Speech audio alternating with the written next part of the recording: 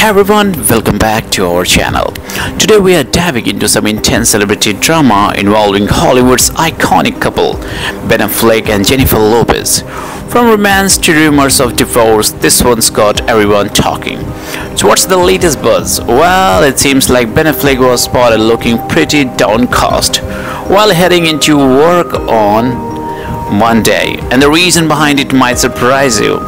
Rumor has it that Ben is holding off on filing for divorce from Jennifer Lopez to spare her the embarrassment.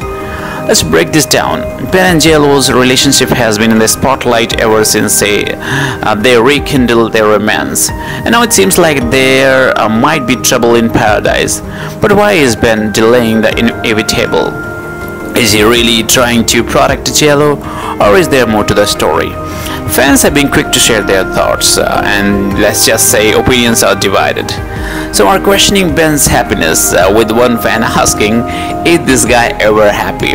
Others are convinced um, that a divorce is inevitable, wondering what's the difference if it's now or next month. And it doesn't stop there. Some fans think JLo is better off without Ben, saying since he came back into her life, things didn't work well for her. I wish she would go back to Miami and leave Ben to deal with the paparazzi. Ouch. Others are critiquing the whole situation, with one fan stating, I'm sorry, but uh, I would be embarrassed being married four times. I believe in the sanctity of uh, marriage, and some people treat it as if it's a casual step in life. Talk about some serious opinions. But what do you think? Is Ben really holding off on divorce to or is there something going on? Bye bye.